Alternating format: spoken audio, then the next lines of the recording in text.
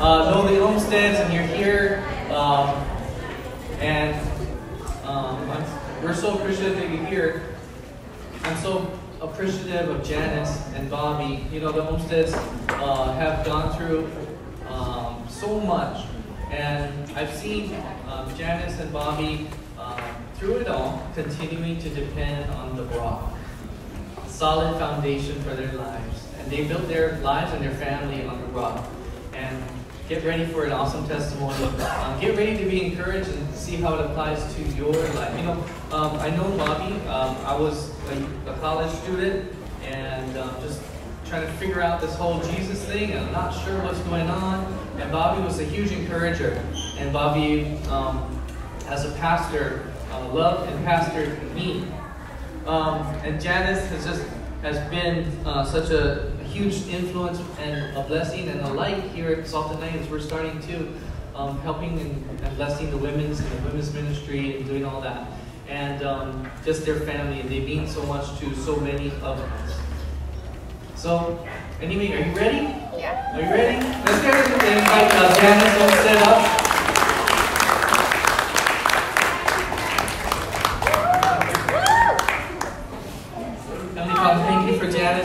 bless her and we bless you, Lord Jesus, and we say thank you for her. Thank you for her life. Thank you for her life, Lord. We thank you for her family. Lord, we thank you for the words that you're about to share to us and the word, Lord, that you're going to use to encourage us. In Jesus' name, amen.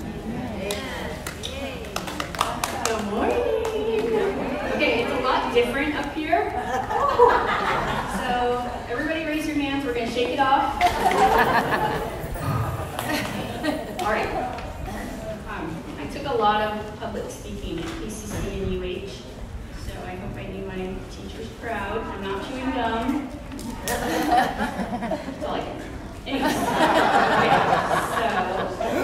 uh, my name is Janice Olmstead, and I attend Salt and Light with my husband of 18 years, Bobby Olmstead. Yeah, 18 years deserves a clap. Yeah. Um, and our 15-year-old biological son, Rocco. Our adopted 8-year-old son, Dylan G. Olmstead. And if you know, you know. and so, um, is it too loud? I feel like I'm screaming. um, one of my first memories of meeting my husband, Bobby, I was a sophomore at KCC, and my college roommate and I went to Hope Chapel, Hawaii Kai, and it was the night service. And there was a guy standing in front of the microphone during worship doing this. and so my roommate and I were like, Who, who's that guy that's in front of the microphone and he's not singing or playing an instrument? He's just like, and then little did I know that was my husband. so be careful who you make fun of Because you might end up being related to them. Uh, so I was 23 and Bobby was 27 when we got married. We were just babies. And we had a five-year plan to hang out before kids and get to know each other, make a life, make some money, live an organized bank account filled life. and so, um, as you've probably experienced, um, not one single plan or goal we set as a couple has ever gone quite the way we thought it would. And when we've been married for three years, the Lord told me we need to have a baby. Um, and it was different than what we planned, but we listened. And before I explain what happened, um, I want to quickly elaborate on what I mean when I say the Lord told me to do something. Like, how does He speak to you, or how do you hear Him? Because um, that can kind of sound foreign. So I'm going to take you through a little exercise so you understand what I'm talking about. So um, think about Christmas when you were a kid. Picture the tree that you had in your house. Or if you didn't have a tree, then picture that too, because I'm sure it's ingrained in your memory. And um, just like you see Christmas and you see that tree, um, God shows me pictures. Instead of it being a memory from the past, it's something He's going to bring in the future. And so when God speaks to me, that's what he sees. He sees, he just shows me pictures. That's my language with God. And in 1 Corinthians 14, it talks about the gifts God gives us individually. That's my gift. So um, we were married in November of 2001, and by the summer of 2004, I was pregnant with a little boy. And so I was sitting on my bed, and the Lord showed me a picture of two kids, two little boys. And one little boy was so handsome, and he was so hapa. Wasn't smiling, he was very serious, just um, really good looking. And I thought he looked like about five years old, and he was sitting on the beach. And then the second little boy was super Asian, and my best guess was Korean. Um, I had lived in Hawaii since I was 19, and at that point, I kind of figure out some Japanese, Korean, Filipino, kind of. Where's Kevin at? Kevin, you confused me. so um, this younger boy looked Korean, and he was sitting in the dirt with navy blue high water pants on and a red shirt. And um, I thought he might be a little on the spectrum, like a little special, because in the picture he was like this. and so I immediately knew that the Lord was showing me a picture of my kids. And I didn't know which one of those boys I was pregnant with, but I knew they were both my kids. And so I just tucked that picture away and didn't think about it until Parker was about six months old and had a stroke. I was diagnosed with a blood disorder called thrombocytosis. I had to go on a very serious medication that would keep me from having stroke, strokes, but it would take away my chances of having more children. And I was so sad. And even though Bobby and I had planned to have lots of crazy little Olmsies running around, there would only be one. Was a time of shock and grief and grieving my expectations of what I had wanted for my life. And it's not what I planned, and it's not what Bobby signed up for. So um, we had. I'm gonna, I'm gonna be the clicker. Um, we had this beautiful little baby named Rocco, though, and we love him with every ounce of our being. And even though we yearn for a whole minivan full of little yummy malasada, malasada Rocco babies, um, it just wasn't gonna be that way. So one night I was looking through pics from Costco that I had gotten back, because we used to do that back in the day, used to develop your pictures from Costco. and um, I looked at this picture of Rocco. He was six months old and he was tan and he was hapa and he was beautiful. And I realized how Asian he didn't look. So I said, you know what? He's the older boy that God showed me. And so I immediately thought, I get one more. I know that I get one more. And I remembered the picture that the Lord showed me, and in faith, I fully expected that if Rocco was the older boy in the picture, then one day, soon, I thought, I would adopt a younger boy. During that time, Bobby was the assistant pastor at Hope Chapel Hawaii Kai. And our lead pastor, Regan, announced he was leaving to plant a church and asked Bobby if he would take over. Um, here's another not so in the plans. Bobby had told me from the moment I married him, I would never want to be the head pastor of a church. he preferred hiding behind the soundboard and not being seen. He's in the back row right now. Um, so, of course, I was confused about what we were supposed to do with the job offer because we even live in Hawaii We couldn't afford to. So uh, I was praying about all this and trying to put the pieces together. You know, you do that, you're like, okay, you can kind of see half of this picture, not the whole thing. So I was just asking God, are we supposed to do this? Are we gonna live in Hawaii? And first he showed me the numbers, 825, and they were wrapped in ivy. And then when I asked him, are you going to provide a house we can afford in our community? Is that house our house? Is that house our house? Um, he said, no, you're going to live at 1036. So of course, after I shared these things with Bobby, he said, do you know that Hawaii Kai zip code is 96825? So I said, take the job. God is going to get us a house in Hawaii with address 1036. So I looked everywhere for that number, and when I couldn't find it, I tried to match it to Bible verses and people's birthdays and the longitude and latitude of 1036. Everything. So we all do this, right? We get little signs and then try to figure out what does that mean? Try to interpret it. So I didn't find it. And after three years pastoring at Hawaii Kai, we felt very strongly the Lord was calling us to the mainland where my family lived in Spokane, Washington. We didn't know why, but we followed his lead. So we bought a house whose address was not 1036, and we loved and lost a little boy from foster care named Noah. Uh, we found an amazing school for Rocco. We served at the church in our neighborhood. Um, and three years after we moved to the mainland, Bobby's mom here in Hawaii was diagnosed with cancer. And she was told that she had a short time to live. So my mother-in-law is Japanese from Japan, okay, old school. She's quite the woman, strong, opinionated, capable. when they told her that she was dying, she quit the garden club. She stopped having coffee at McDonald's with her friends. She went home and she wanted to die. So she had missed my father-in-law so much since the day he had passed. And 18 years without him was enough for her. She was ready.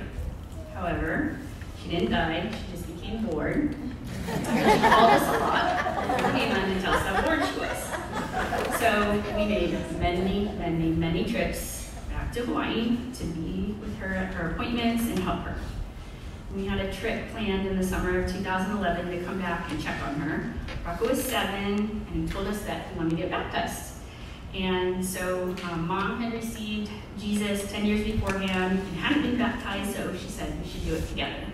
And so all of mom's Japanese friends from church, um, our friends from just life and Hope Chapel days, and some of my family who was in town, we gathered at Baby Quinn's and they were baptized. And I didn't know them very well at the time, but even the Fowlers were there. And uh, hold on, let me figure out. So I can't tell you guys at the moment how significant that day was, but in a minute you're going to trip out. So um, here's a picture of baby Miley. Yay! And I have a picture of Sky too. I'm sorry, Sky, that you didn't get your shout out. Here's your picture. You're there. Sky was there. She was just a sweet little baby. Anyways, um, so um, in the fall 2011, Rocco's Auntie Tammy sent him this Shutterfly book, all the fun adventures she had taken him on during that trip, including pictures of the baptism. And so, there you go. Um, when I saw the cover of the book, you could have knocked me over with a feather. The picture his Auntie Tammy took of him at seven years old was a picture God had shown me to a T, the non-smiling face, super handsome, in the sand. that baby? Um, when I was pregnant with him, there was no way I could have known what Rocco was going to look like. At that age, he wasn't five, he was seven, but what actually worried me though was that we didn't have the other little boy that God had shown me. So I really thought I misunderstood what God said and I missed our chance for the other little boy along the way. Um, Mom passed away in April of 2013 and we grieved her loss that year and processed in our hearts where we were at in our lives. And in my heart, I was trying to let go of the idea of adoption. I just kind of thought like, family's getting older, we're moving on, we don't have the money for this. And then um, in early 2014, Bobby just turned to me. We were riding in his work truck. He turned to me and he just said, How do you know that the second little boy was Korean? And I just told him, I know my Asians. he looks Korean. And I know he's adopted because I would never give my kid a bowl haircut. So, Bobby told me in his work truck that day, driving past a beautiful park named Manito, going down these tree-lined streets is all slow motion for me. These tree-lined streets on this road called Grand. He said, um, let's do it. You go figure out how to get us a Korean. Bowl haircut, special little man. So before I, he changed his mind, I levitated home and I jumped online. And in the interest of time, I'm going to skip forward two years to the fall of 2015 because if you're paying attention, I just skipped over two years, and that's called the process of adoption. So uh, Jesus gets us through the adoption process. in the fall of 2015, we got on an airplane to South Korea to meet our now four-year-old little boy. We were matched with since he was two. Look at that bowl haircut. Um, so we could only meet our son Dylan G. Olmstead on this trip because the process of waiting requires you on your first trip to South Korea to go in front of South Korean judge. The first trip to Korea was the happiest time of my life. Uh, Bobby and I are so fun to travel with. Uh, we are adventurous. We love good food. We walk 12,000 steps a day, see every inch of our son's homeland. We just took it all in. So, if anybody needs some traveling buddies, uh, we basically rock Korea. so, um, later I hope that I can share more about every tear and ear to ear grin we experienced meeting our son. It was all of our hopes fulfilled. But um, since Korea is currently my favorite place on earth, I should probably get paid to promote it because um, I emphatically tell everyone I meet, you must go to Korea. Are you hungry? You should go to Korea. Do you want to have the most fun your whole life? You should go to Korea. Um, when we met our son Dylan for the first time, we were blown away. We were in love. He's so funny, he's so loving, he's just so perfect. And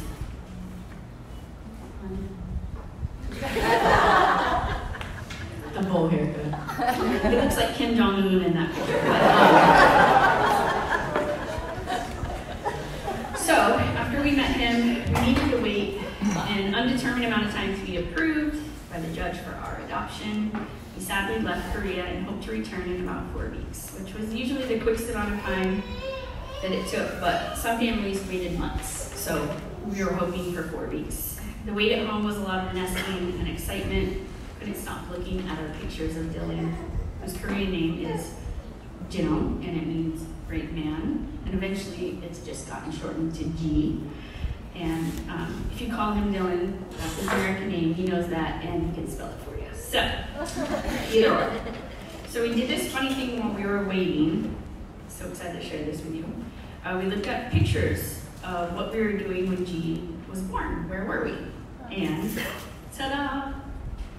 We were in Hawaii, Fowlers, with mom getting baptized. So, mom and Rocco got baptized the same week that G was born, the same week that that picture that God showed me when I was pregnant with Rocco was taken. I was looking at this uh, picture of us together on the first trip to Korea, and Um, it, will show up. I was looking at this picture um, on our first trip to Korea, and um, wait, sorry, I lost my place. G is wearing a red shirt, blue pants, big cheesy smile. The picture will show up later. So after about uh, two weeks, we got back home, uh, and then we were approved to go back to Korea in another two weeks. So we bought our tickets and we tried not to look at the ticking clock. During that time, my right side was hurting me, and I told Bobby, I think I'm having appendicitis. And so on a Saturday, we rushed to the ER, and I excitedly told the doctors, yank this thing out because I have to be back on a plane to pick up our little boy in 12 days. So we showed all the doctors and nurses pictures of us with him on our first trip. We've never seen more eager group of people, so happy to pull out an appendix. Um, was just really excited. The head ER doctor had adopted a little boy from Korea in the 80s, so he was just all about it. And after my abdomen scan, um, he came back in the room and he shut the door behind him and he's kind of ashen and he's hanging his head.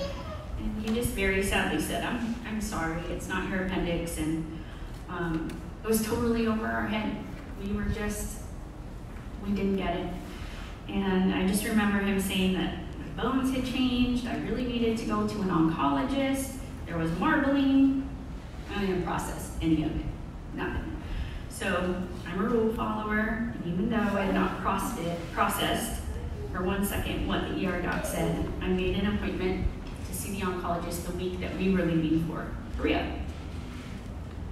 So that weekend, leading up to the appointment, Rocco had a soccer game in Sandpoint, Idaho. And during the car ride, God showed me a picture of a volcano. And I knew it was super important. I just didn't know what it meant or who God was talking about. I thought about it all weekend, told Bobby about it, and I said, you know, all I can gather from that picture is that the volcano has the potential to wipe everything out and kill everyone. Um, but in this picture, no one's going to die because the volcano is dormant. So it's just big and scary, maybe. And like I do with a lot of pictures that God gives me, I wrote it down and stored it away in the back of my mind. Monday morning, Bobby and I walk into the oncologist's office, November 9th, 2015. She was a young Chinese from China uh, doctor. She kind of had a bold haircut, true story. but uh, she just started drawing on this piece of paper. She drew a bell curve, and she said, "You have five years to live. You have myelofibrosis. Your bones are scarring over. You'll need to find a donor to give you a stem cell transplant. We don't do those transplants in Spokane, so you need to go to Seattle Cancer Care." And I was crying, but I didn't really get it. I was only 36. And so in the parking lot, I asked Bobby, Did she say that I have cancer?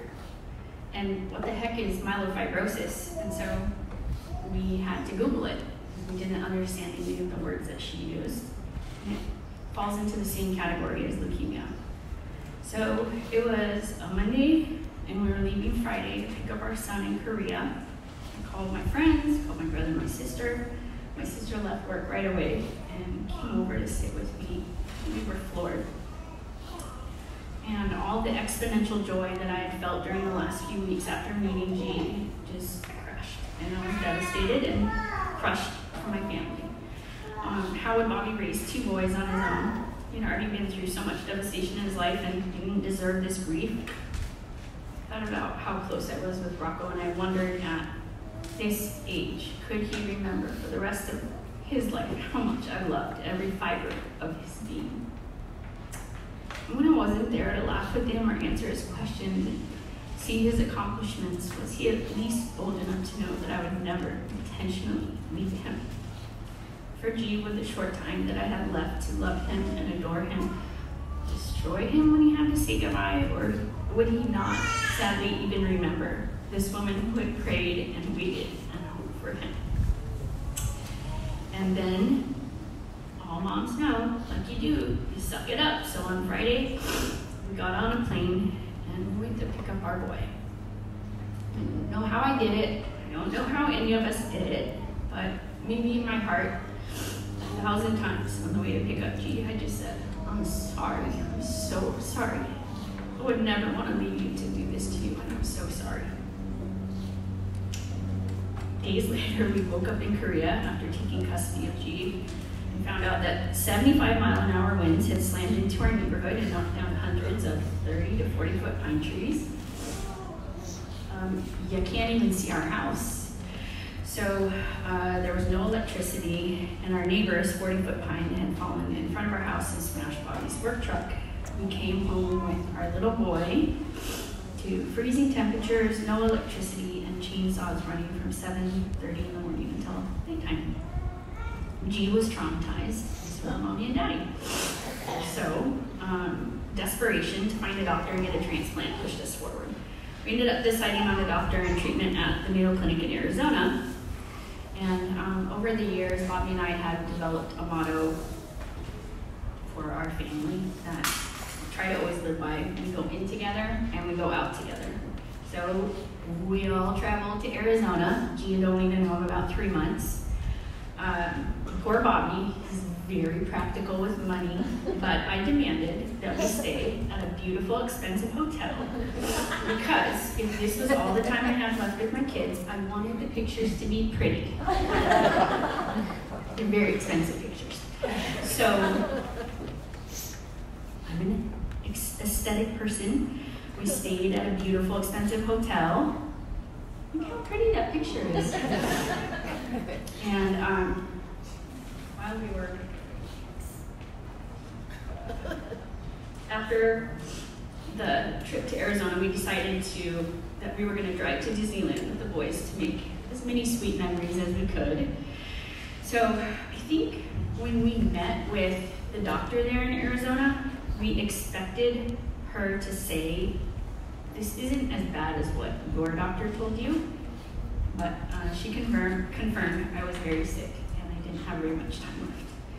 And I was just sad, shell shocked, sleep deprived because Gigi still woke up every single night, about four to six times a night, crying or screaming.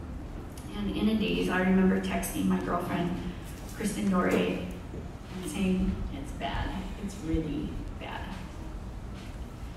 She said probably the hardest thing a friend has had to say to another friend in their most devastating moments, but I will always be eternally grateful that she spoke these words.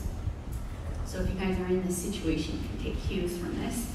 Um, she said, if this is all the time that you get, there's no time for crying. You put a smile on your face, and you need to be present with your family. There is no time right now to be sad. And so I talked to her about this the other night, and she said, Well, when you tell me how I said that, it sounds very rude. but I said, No, it was pure gold. So um, on the drive to Disneyland, I made a plan. I'm going to smile like it's going out of style. And these are the pictures that Bobby will look at on our anniversaries without me, and these are the pictures my kids will show my grandkids that it's on. And we killed it at Disneyland. I'm serious, we're super fun people to travel with. It's our strong suit.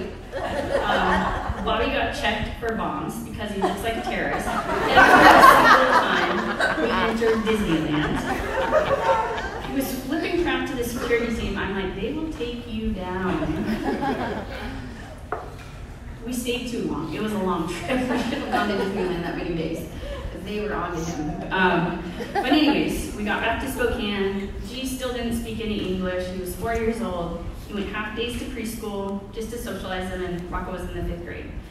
I didn't have a donor match yet, but I didn't cry that whole spring, and I didn't cry that whole summer. And I shoved as much life and fun into those months as I could manage, as I could manage. But there was so much pressure and I don't, I don't know how we didn't explode. Just the pressure of my illness and the sleepless nights, and we were just tired emotionally and physically. We were in pure survival mode. So, my little friend, Tammy Moniz, over here in the corner, got on a plane in May of 2016 and walked through our door on a mission to refresh. And I actually can't convey how timely her visit was because we were spent. She cooked for us, played with our kids, made us laugh, took us on adventures, let us sleep. Um, it was a blatant act of kindness. It was pure mercy. And I still didn't cry. So in September of 20, 2016, my babies, when Rocco went into the sixth grade and G went into kindergarten, I would come home every day after drop off, open my Bible, and I would sob lay on the floor and sob my eyes out. Pickup for them was at 2.15, so I'd wash my face at 2, and I would go be a present mom with my kids. And for all the enormous grief that had engulfed me, I knew that I was going to be brand new in the arms of Jesus, so I wasn't sad for myself. I was just crushed for Bobby, and I was crushed for Rocco and Jean. In the fall of that year, I was scheduled to go back to the Mayo Clinic to meet with my doctor. Bobby needed to work. It was easier to leave the boys in school. And so my friends from Bible study, two women named Kelly and Annie, who were in the later season of their lives than me, their kids were all out of the house and graduating from college. They jumped at the chance to come to Arizona with me. We went to the Mayo Clinic. Bobby FaceTimed in for the appointment. I was just in this deep fog during the appointment, my doctor moved the timeline for how rapidly my disease progressing to just three years left. I needed to find a stem cell donor soon. Really couldn't process much, but the basic words, even that didn't really sink in. Annie had to drive the rental car the entire time we were in Arizona because I was just somewhere else in my head. And I remember being on the freeway and going to someone's house in Arizona, and she was like, Janice, I told you about these friends of mine that moved here, and when she hears this, um, she's gonna say, I don't talk like that. I'm gonna say, yes, you do. but um, she was just so excited and she said, I, I told you, you have to meet them. She was so excited that maybe you can go to their church on Sunday and she could see their grown kids. And I was just in a fog. I was just along for the ride. So when these people named Lisa and Greg opened the door of their house, I kind of woke up for a minute. They hugged me, and I couldn't understand where I knew them from. So I asked them if they were from Hawaii. They said, nope, but our pastors are from Maui. I was like, no, that's not it. I couldn't put my finger on it. So how the heck did I know these people? And I must have asked them a few more times if they were from Hawaii because their hospitality and their ease was just very familiar. Greg finally laughed and just said, Janice, we've never even visited Hawaii. but I couldn't shake this weird feeling like something's going on. So after dinner, outside by their pool, we're all talking a million miles a minute. Three different conversations are going on, and I heard Annie at the end of the table ask Greg, what is the address of your church? He just shrugged, so she Googled it and showed him the phone saying, Is this it? 1036 West 23rd. And I actually screamed because I said, Wait, what did you say? The address of the church is 1036 West 23rd? I told everybody uh, what I had heard from the Lord 10 years before that I would live at 1036. That's where I would live. I instantly understood that God had always known about Arizona. He had always known about cancer. He had always known about adopting Jeannie in the worst moment of my life. He had always known about a dormant volcano I would eventually look every day when I step outside my door and gaze up at Koko Head. So none of it was wrong, and it was all covered, and God confirmed for me in that moment that I would live. So that was just one of the most supernatural moments of my life. I told everyone, be quiet. And I called Bobby. Guess what the address of the church is that we're going to tomorrow?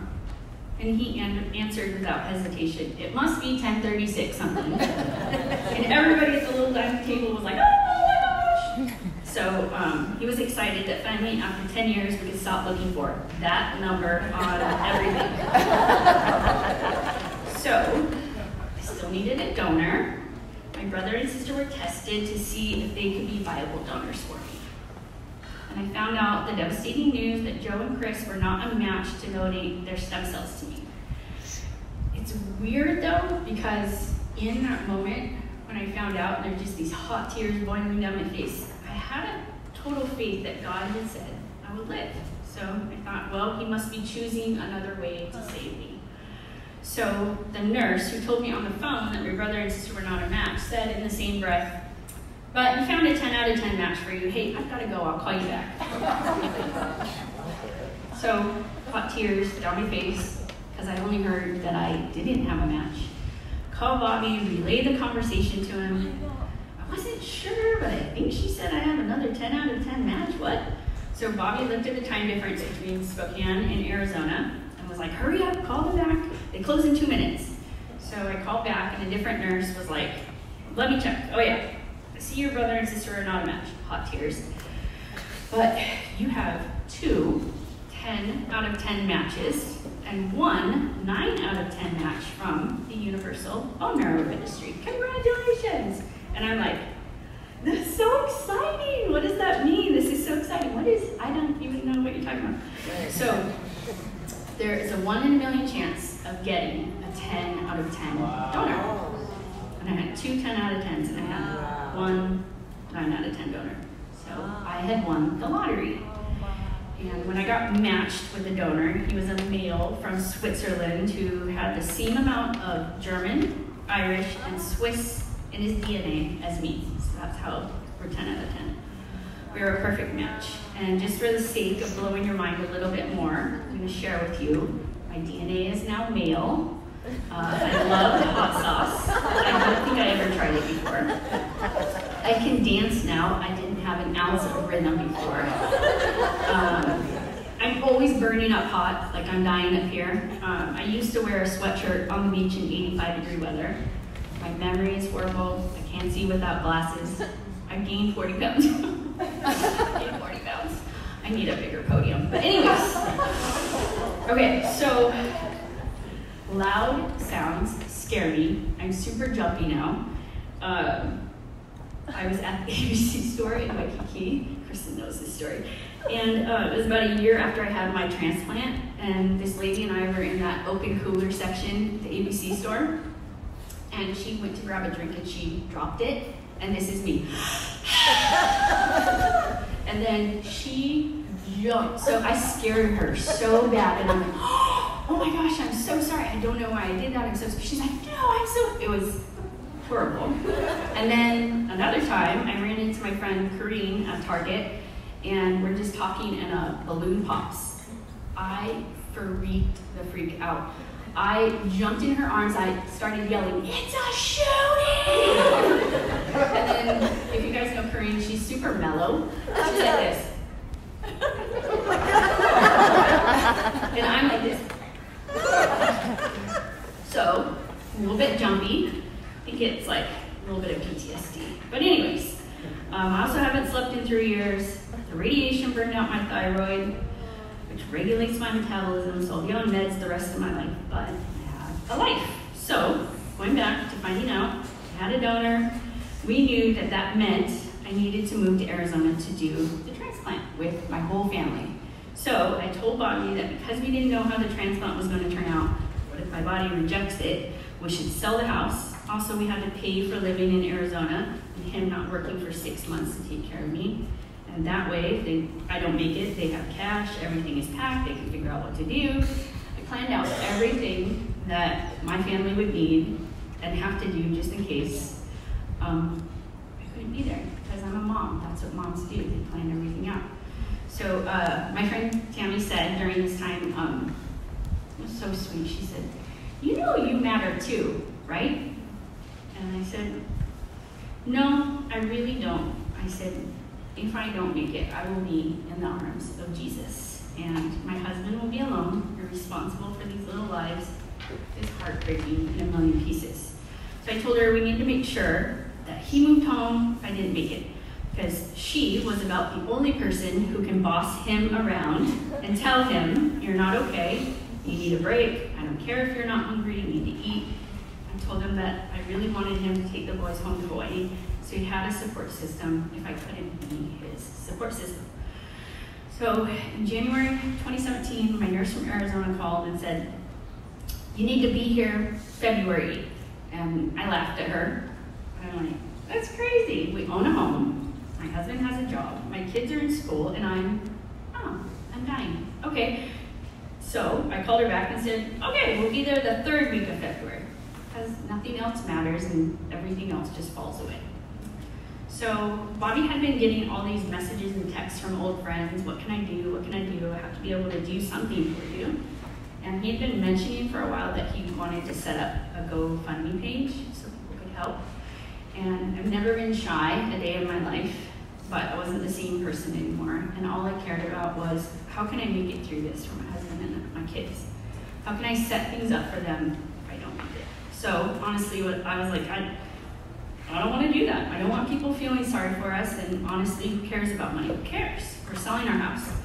Our friend Beth Ann from church had come to us at that time and told us that God had spoken to her and she was going to sell our house commission free. So me, I was like, oh, we're good but Bobby wanted to do it.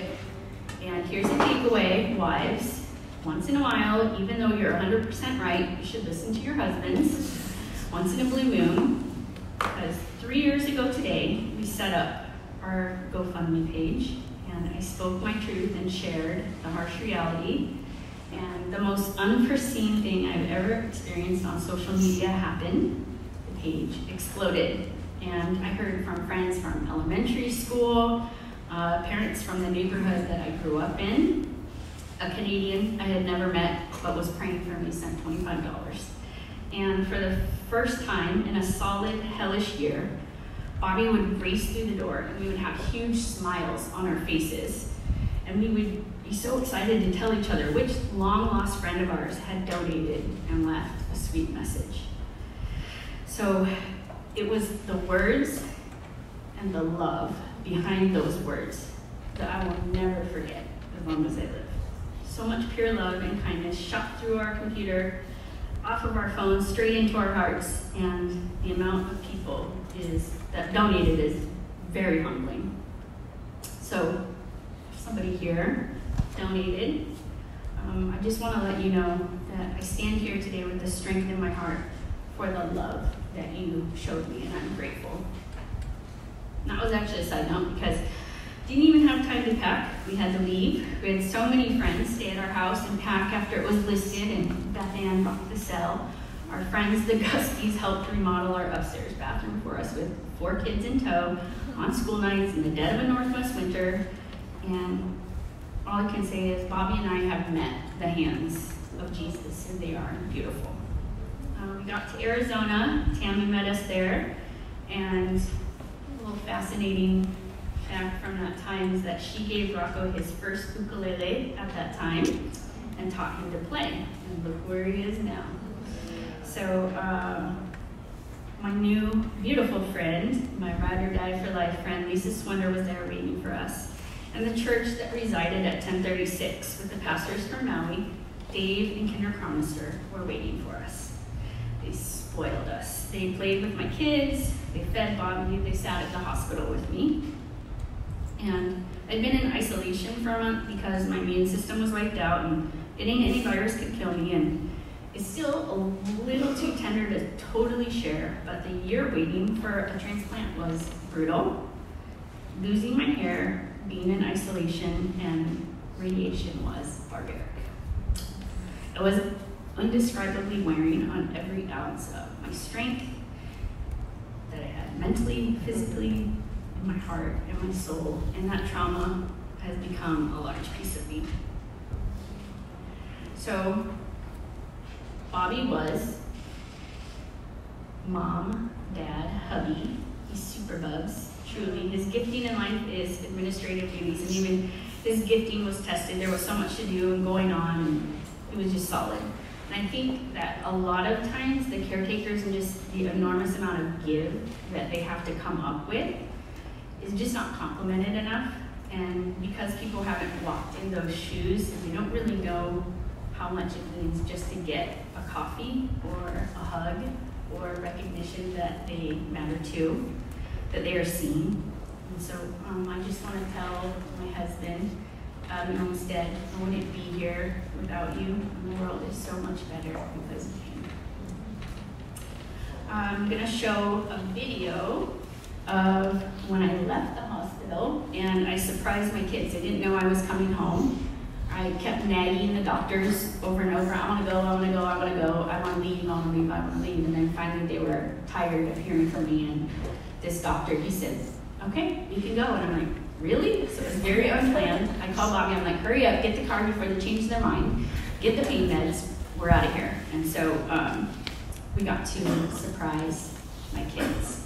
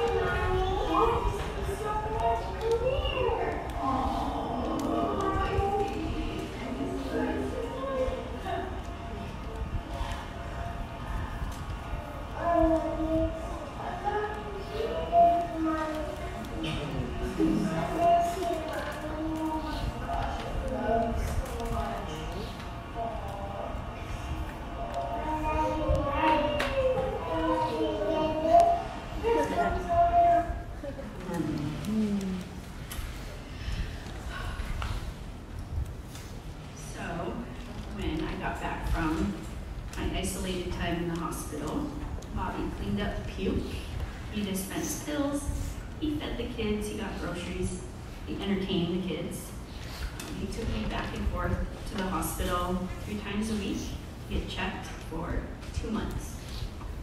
And he gave every ounce of energy he had and then some. And I am alive because he sacrificed his sanity and got me back on my feet again. So because his job was to take care of me when we were required to have extra 24-hour care for the kids for the entire time, 12 families came during that time to stay with us for a week at a time after my transplant to help us. And so want to ask you guys, do you have 12 friends total? Like people that you could live with for a whole week? Our family was cared for by the hands of God. We have so many funny stories from living with our best friends and caretakers. Auntie Cherie rode scooters with the boys at 10 o'clock at night. Auntie Charlene had a Nerf gun battle, and all the bullets were stuck in the chandelier in sconces. Which the next one, Ma Fei, didn't like. When she came, she taught G to vacuum, so all the lines in the carpet looked like fresh cut grass. Auntie Tammy got Rocco his first ripstick and said, if you fall off this and hurt yourself, I'm going to punch you in the throat. Auntie Dixie made us take a major detour on the way to the airport to buy cupcakes from a vending machine. I didn't even know that existed. Rocco tortured our friends and family with endless hours of card games, and God help me, the amount of times G watched Moana should be illegal. and that's just the half I can remember because the radiation blitzed my memory, and I can't even remember my friends Matt and Jess being there. They were there for a whole week, and I can't remember. So we decided towards the end of our time in Arizona that we just wanted to come back to Hawaii. Knew that it would be sort of like a subsistence kind of living because it's so much more expensive than the mainland, but home has so much more value than the stuff you can buy. So I feel spoiled every day. Um, when I'm driving my boys to school and I pass the ocean. And it's hard to think of much else to ask for, but I hope that I always do appreciate that God assured me that I will have two boys. He told me that I'll live at 1036. He showed me the view that I would have to look forward to every day. And even though Jesus literally never promised we would get through this life tear-free, he's promised to give us life, give it abundantly with real joy. So, at the end of the day, when our breath is fading, when our time draws near, the real goodness of Jesus is realized. Because whatever ways that we sinned, and sin is just separation between us and God, whatever we did in this life, it's covered by the blood of Jesus. And we have the gift of eternity. So, there's no sickness there, there's no hurt, there's no worry, no broken bodies, broken hearts, just love. And Jesus, in very simple terms, is love. So, tell you, whoever hears my, oh, sorry. So in John 5 24, Jesus says, Very truly I tell you, whoever hears my words and believes him who sent me has eternal life, and they will not be judged. They have crossed over from death to life. So we want to take some time right now to pray for all the caretakers in here and the people that are fighting battles. Um, so we're going to do that, but if you want the love that I'm talking about, if you're curious about those gifts that God gives and you need that healing, um, I just want you to um, raise your hand, and anyone around that person who is raising their hand can just jump up right now and pray for them and welcome them into the only thing that we can count on in this life and the next. So, if there's anybody in here who wants that healing, wants that love, please raise your hand.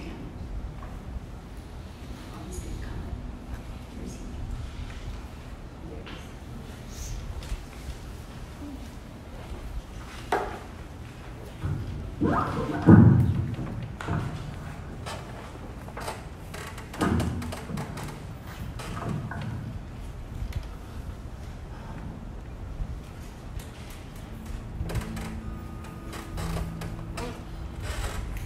you could, in this moment, just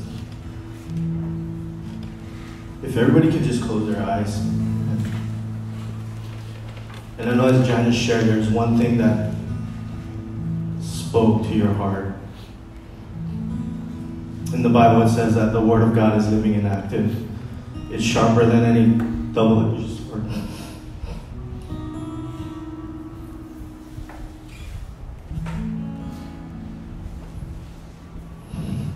It pierces the bone and marrow, dividing soul and spirit. Somewhere along this journey, as Janice shared, you were touched.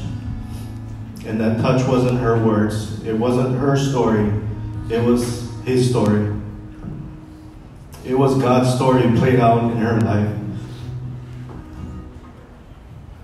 So, in this moment, I want you to think of what is that one thing that was spoken to you in your heart.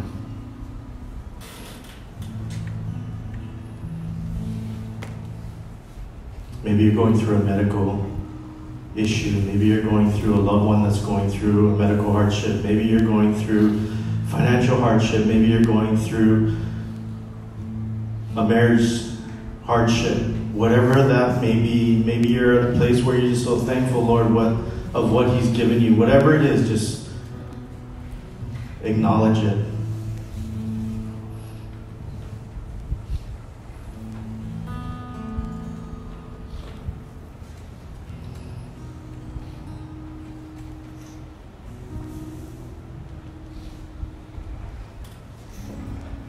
And just as you would present a gift to somebody, I want you to hold your hand out in the front. And symbolically, whatever the Lord has spoken to you this morning, just put that in your hand.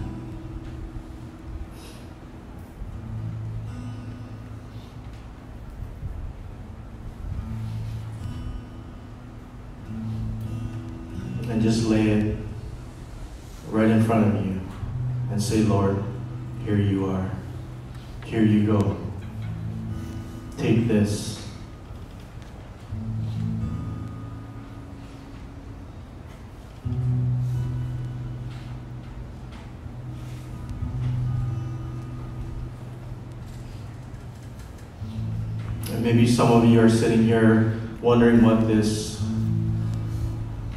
journey of, with Jesus is about. And as Janice shared, really, He is the one that carried us through this whole journey and will continue to carry us.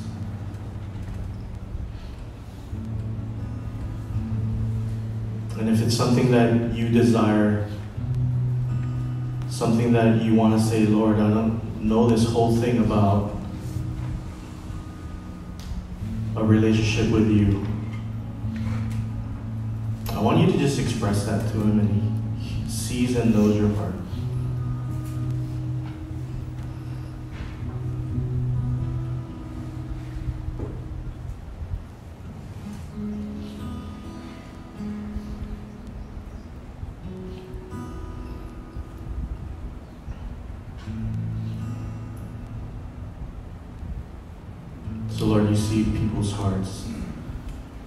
May you bless them, be with them.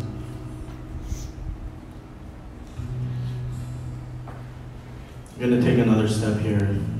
If you're here this morning and you are, you know of someone that is dealing with a medical hardship, or you personally are going through a medical hardship, which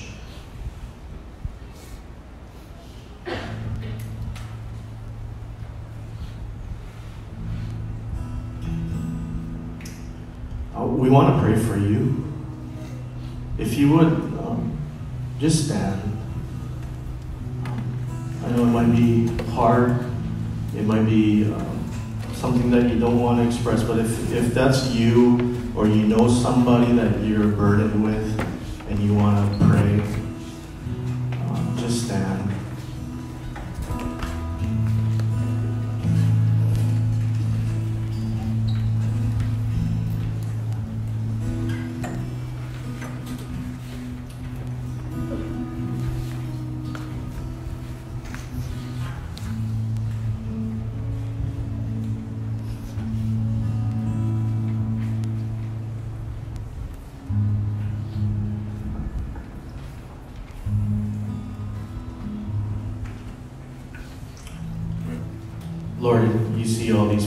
standing. You see all the people who are even seated and desire to cry out to you. I pray that right now they would feel your touch. I feel that I pray that wherever they they are, that you would meet them, that they would know your love, they would feel your love, but most of all that they would get a healing touch. We pray for healing upon all areas that they're standing for, or maybe they're standing uh, on behalf of somebody. We pray for healing in the name of Jesus physical, emotional.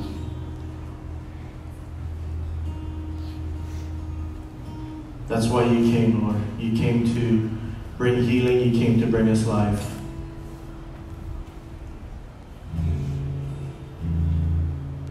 Father, we speak life in the same way Genesis' dry bones were brought to life. I pray that you would bring life into every dry bone, to every broken dream, to every broken heart, to every unfulfilled promise. God, we ask that you would simply be God. That you would rise up. We don't want to know why, we don't want to know how, but we just want to be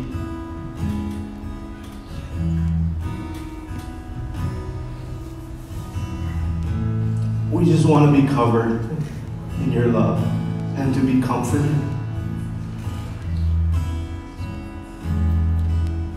So, Father, that's what I pray this morning that you would bring comfort in the name of Jesus, that they would be comforted and to be able to see the light in the midst of darkness.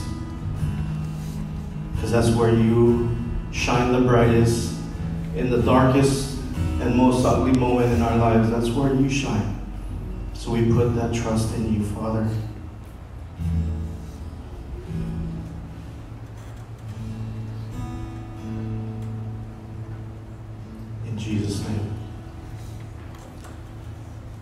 Last thing we wanted to pray for was uh, Janice really felt that um, we want to pray for the caregivers. Um,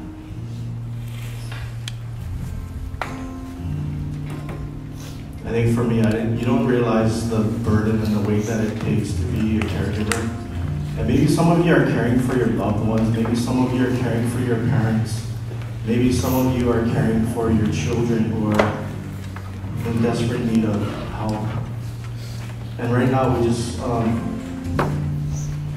think we want to pray for the people who are providing direct care. Um, it's a huge need it's a huge burden. And you can't you can't do it alone. You simply can't.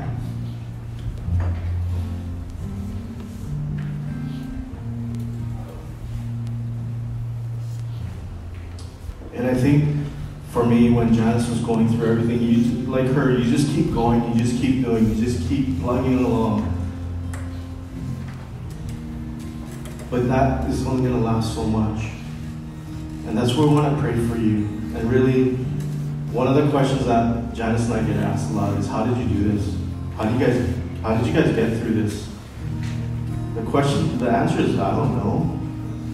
Other than it was the strength and grace that God has given to us.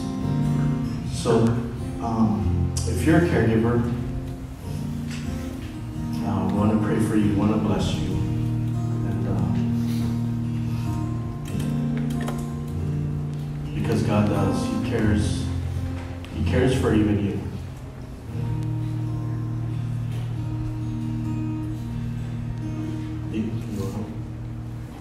All right since I got to stand up here, you guys, if you guys want prayer, why don't we um, have you guys come forward and then. Um, we're just going to pray for you.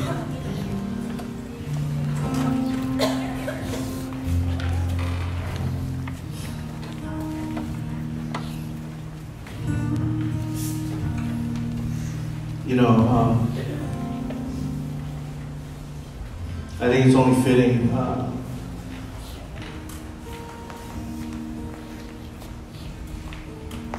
we have a pastor here, Max. He and his family um, are, are, are in a place where they're constantly caring for um, their dad. And it's a huge burden. Um, it's a huge uh, responsibility.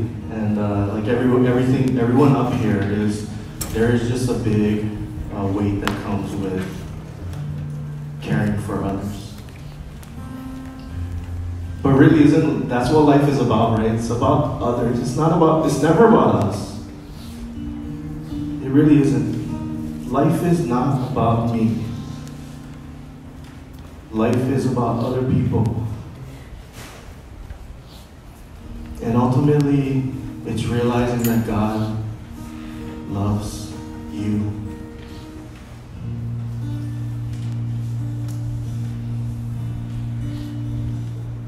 And the relationship of God is simply this is the heart of the Father is the heart of the Father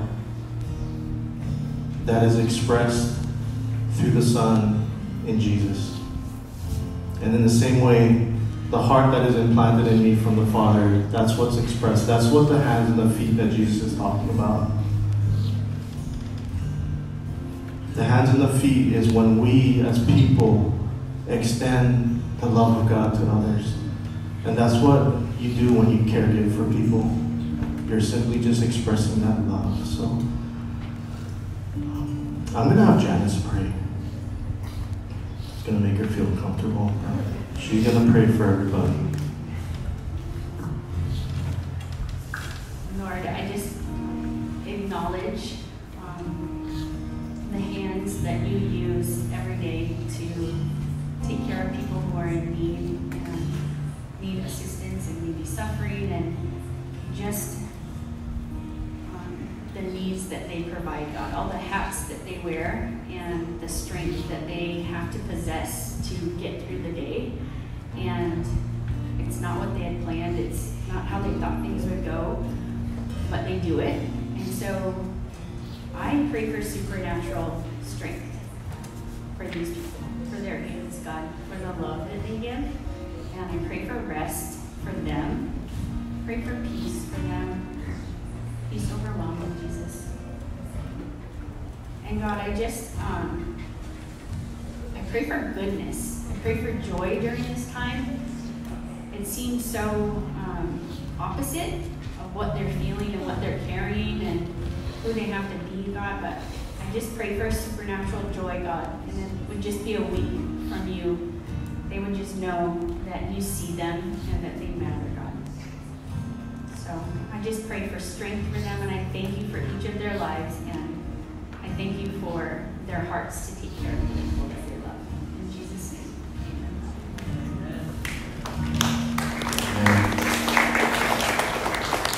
you guys. Um, there's one thing to take away.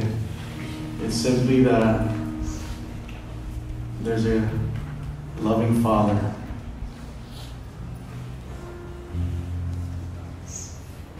That wants to, you to experience that love from wherever you're at. Hopefully, that's the message that you receive that there is a God. There's a God that's not out there. He's right here. He's right here. And what you felt this morning is His presence. And for some of you, it's probably the first time you've ever felt something like this. It's not, it's His love and His presence that is here that He wants to invite you into. So I encourage you, if that's something that you uh, want more of, in the same way that you would go out and seek after something, I would pray that you would begin to ask God, what is that? I want more of that. Because I think this is what we all desire. And there is no place like being in the presence of the Father. So, bless you guys. Thank you for having us. I'm going to turn it back to Max. Thank you. Janice, thank you, Bobby. Boldness and the courage and the love for being here.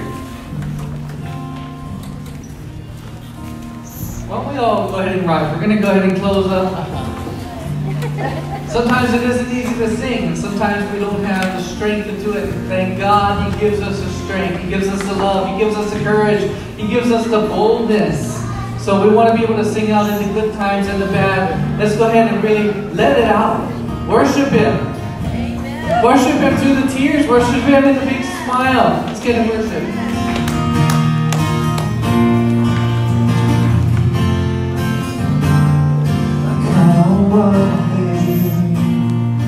Sing God never fails, will not fail me now.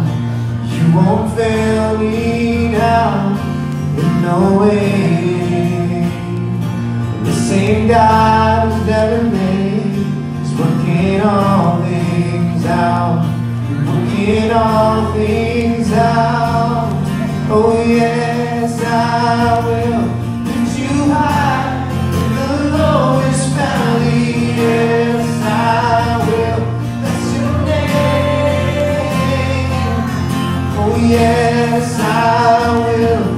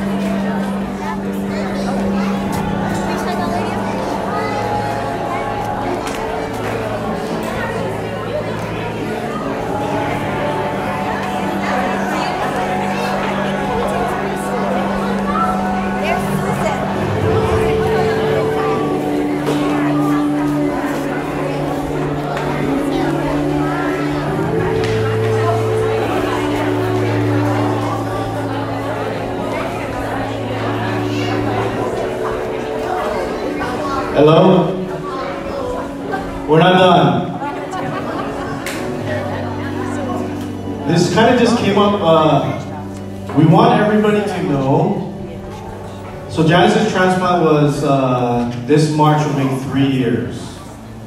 So it, I don't think we said this or she didn't say this, but she's completely healed. And uh, just so that you know, she's not like. Uh, yeah, she's completely healed. Uh, we got a report even from her last visit to the Mayo Clinic in uh, September of 2019 that she doesn't even see an oncologist anymore.